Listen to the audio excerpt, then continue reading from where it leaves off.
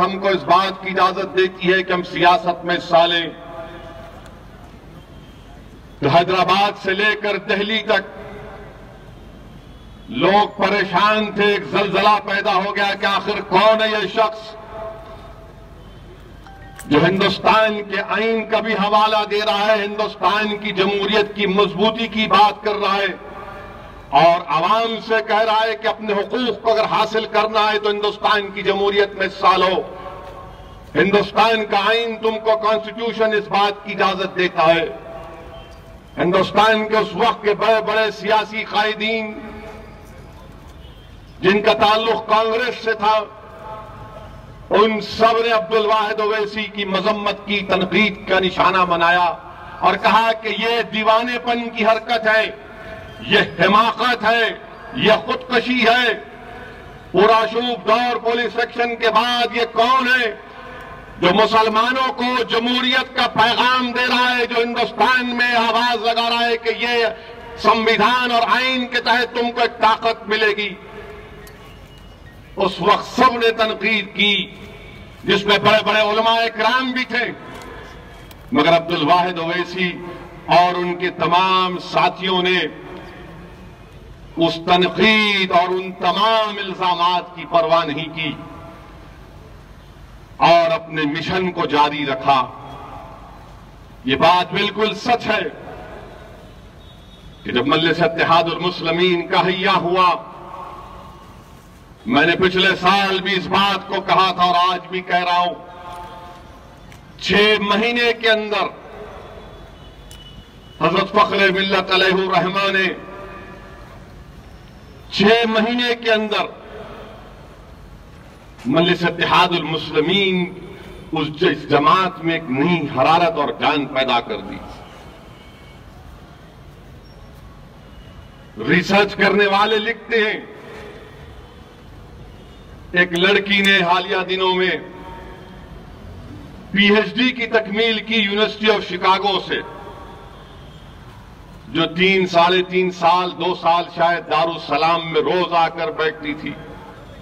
بلکہ مرحوم قائد سالار ملت جو زندہ تھے، تو اس نے آ کر مرحوم قائد اور سالار ملت سے ملاقات کی اور مجھ سے بھی کی اور کہا کہ میں یونیورسٹی آف شکاگو میں ملس اتحاد المسلمین پر پی ایچ ڈی کر رہی ہوں۔ میں روز دارالسلام میں آ کر بیٹھنا چاہتی ہوں۔ بہرحال ان کی پی ایچ ڈی ہوئی، انہوں نے اس کو سبمٹ کیا۔ اس تھیسس میں اس اس پی ایچ ڈی اسکالر نے لکھا جس کو یونیورسٹی آف شکاگو نے قبول کیا کہ عبد الواحد اویسی نے چھ مہینے میں ایک نہیں، دو نہیں، تین نہیں، بلکہ سو جلسے کیے اور دو مارچ کو مجلس اتحاد المسلمین کا حیہ ہوا۔ کہاں پر ہوا؟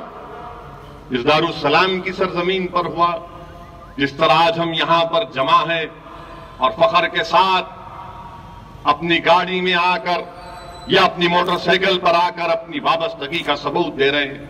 نہیں میرے بھائی مثل بنڈے میں عبد الواحد اویسی کے گھر پر مجلس اتحاد المسلمین کا ایک تاریخی جلسے عام ہوا اور لوگوں سے اپیل کی گئی تھی کہ اپنے ساتھ ایک جانی ماز اور اپنا پانی لے کر آئے۔ عبد الواحد اویسی اور مجلس کے ان کے رفقا نے کہا کہ ہمارے پاس انتظام نہیں کر سکتے ہم۔ ہمارے پاس کچھ نہیں ہے۔ ہمارے پاس آج کی طرح اس طرح کا ڈائس سٹیج کرسیاں نہیں ہیں آپ آئیے۔ لاکھوں سلام حیدرآباد کے ان مرومین پر جنہوں نے عبد الواحد اویسی اور ملس اتحاد المسلمین کے اس پیغام کو سمجھا۔ اور غربت، مفلسی،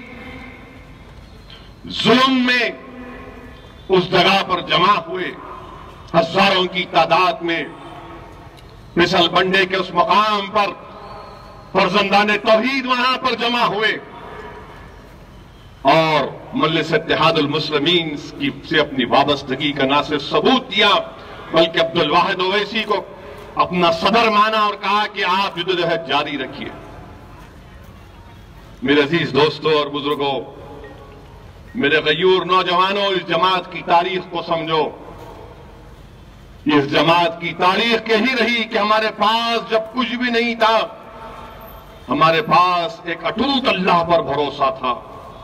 وہ بھروسے کو آج بھی مضبوط کرنے کی ضرورت ہے۔ ہم کو پورے اخلاص کے ساتھ اس سیاسی سفر میں کام کرنے کی ضرورت ہے۔ یقیناً ہم مظلوموں کا ساتھ دیں گے جس میں مسلمان اور دلت بھی شامل ہے۔ یقیناً ہم اور ناانصافی کے خلاف آواز